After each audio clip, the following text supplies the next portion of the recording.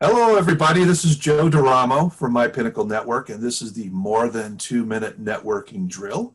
Uh, My Pinnacle Network is a business to business networking group, and each year we do something quite special. We hand out awards to our best networkers in our organization. So we've been handing those out lately since we weren't able to have our formal ceremony on March 17th. So we're doing this virtually. And I, I wish I had a drum roll sort of thing here because this is our best connector networking ninja award, and she's a good guest already because she laughed at that. So I'd like to introduce you to our best connector networking ninja, uh, Tara Gearhart. She is in the My Pinnacle Network Needham group. So Tara, here's your trophy. Enjoy.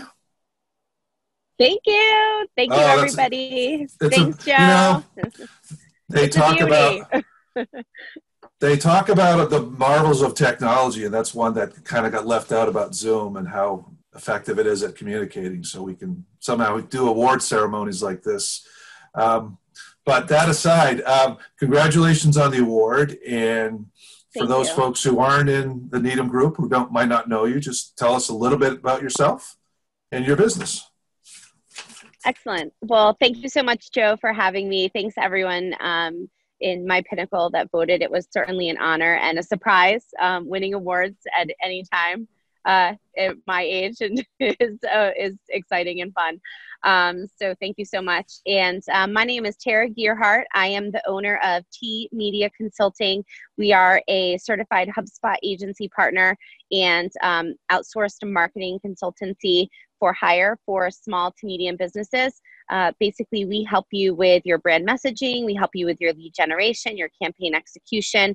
We either work as your outsized outsourced CMO or we work with your internal marketing team um, from high level strategy, and then your internal team would uh, handle execution. So, um, been a member of My Pinnacle Network in Needham for around three years now. Uh, it's a great group of people. We really enjoy, um, you know, sharing real life war stories of what's going on with business owners uh, day in and day out. Um, you know, obviously this year in particular, in 2020, with uh, the coronavirus um, happening, it's then um, presented itself extra challenges for a lot of businesses. So um, we've really been happy to help um, help folks, uh, you know, keep with messaging and um, and kind of keep their brand engagement up uh, during this time. Great. Um, as the best connector, I mean that's kind of a lofty award here. You must have some some best practices you employ in your networking that maybe you'd like to share with with our audience. Just to you know, what does a best connector do to get to be a sure. good connector? Sure. Yes. Yeah, no. Um, you know, obviously, as with anything, um, you really reap the benefits of the effort that you put into it. So, um, really making sure that whatever you are putting, what efforts you're putting forth towards to make connections, um, that you're sticking to it and you're uh, following up and really doing the work um, via outreach. Um, I'm a big fan of you know snail mail in a in such a technology rich uh, world that we live in an instant gratification world that we live in uh, nothing kind of breaks through the junk mail in the mailbox like a handwritten thank you card or a really nice piece of swag or something thoughtful um, just letting people know that you're thinking about them uh, letting people know that you're you know truly invested in a business type partnership to help them grow. So um, you know things like branded uh, swag for your business that is applicable uh, to your potential target consumers, some things that they could use on a day to day basis, um, handwritten thank you cards after you've met them, or you know, just thoughtful email outreach on ways and reasons why um, people would want to talk with you and some offer value that you could offer them um, in setting some time aside to speak um, are really important things that before you just send send a communication or do an outreach that you really think about and you kind of you know make sure that everything is couched authentically um, and strategically you know to to to help them but also to position yourself as a thought leader um, and a, a, person that could really impact their businesses in a positive way. Um, so some of those best practices are around just keeping time in your calendar. Um, you know, setting aside time to uh, make those outreaches, make those follow ups, and ensuring that stuff doesn't fall through the cracks when you do have a really good conversation. So, as part as part of your follow up, like, do you give yourself a timetable? Is like, I need to get back to a person I've done a one on with one with within you know how many days, hours, weeks? I mean, yeah, yeah. So typically for one to one, I'm I'm pretty um, immediate. Just my personality is there's always a lot of things going on between work and family. so um, if I don't do it immediately, it's probably gonna, you know, I I just know this from past experience. If I don't do follow up, you know, really within a few hours of our initial conversation, um, and then set a task of next steps, um, it's it's typically not getting done. So say you and I had a one on one today for our very 1st mm-hmm. time typically within an hour i ha- you have a follow-up email just even if it's oh, something oh, wow. simply saying thank you so much for taking the time to talk with me today these are the things that we discussed on our call these are the next steps that we identified and i'll be back in touch with you in a week in a month in six months whatever that you know results conversation yielded in and then what i do is um, i use my calendar for pretty much everything um, i know that there are tons of uh, you know, uh, task tracking software and applications, things like Monday, things like Basecamp, Trello.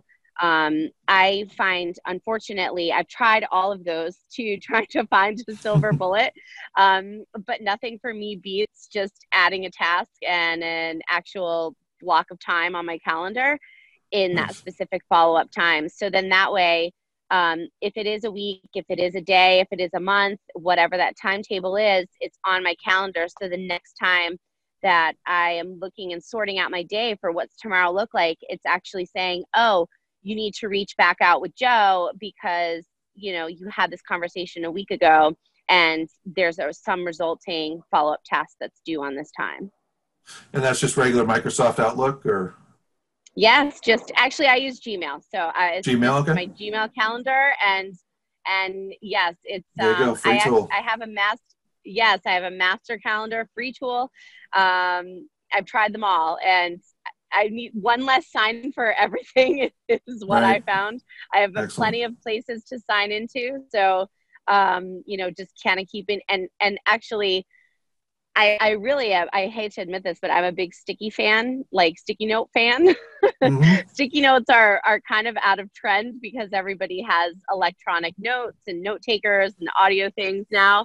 Um, so I've actually kind of transitioned. So my Gmail is basically like my virtual sticky note, you know, repository yeah. of everything that I need to do. Um, but it, but that way it sorts the time and a place. So well, it all gets done. I, I, no judgment here. We're still using these here. So um, exactly.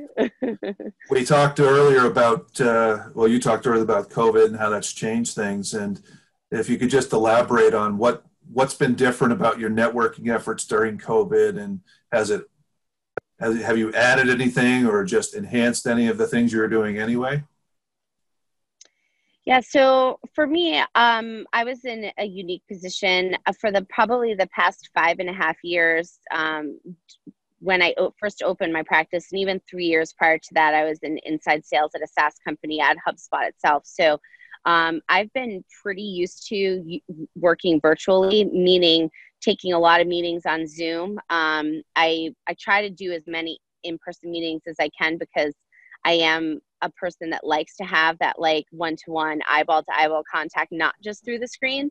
Um, so fortunately for a lot of my local clients, I encourage, you know, monthly meetings, uh, weekly meetings, things like that as possible in person.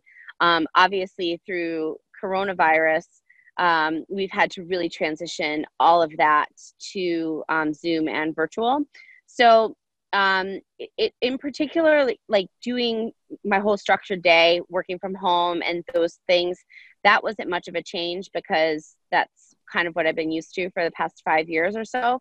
Um, mm-hmm. However, really missing that people connection and intergroup connection, exchange of sharing ideas, things like that, um, has really kind of forced me to build in some of that time. So um, doing actually social group Zooms, um, mm-hmm. things where you just kind of do like we call it like water cooler talk with your office friends.